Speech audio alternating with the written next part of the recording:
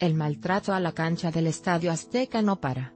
Ahora luego de los dos conciertos de Shakira, la cancha del Coloso de Santa Úrsula luce muy maltratada.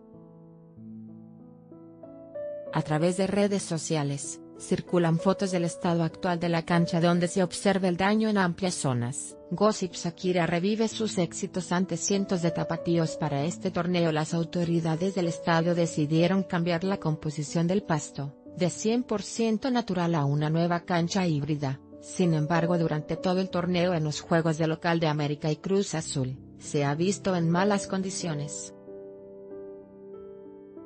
Las lluvias y el poco tiempo que tuvo el césped para que la hierba creciera sin problemas fueron algunas de las causas por las cuales el campo no lució en sus mejores condiciones, y generó algunas inconformidades entre los jugadores de los equipos. Este fin de semana, por fecha FIFA, la Liga 1010 tuvo que hacer una pausa en sus actividades pero no así el Estadio Azteca que recibió el jueves y viernes pasados a Shakira, en sendos conciertos de más de 50.000 espectadores.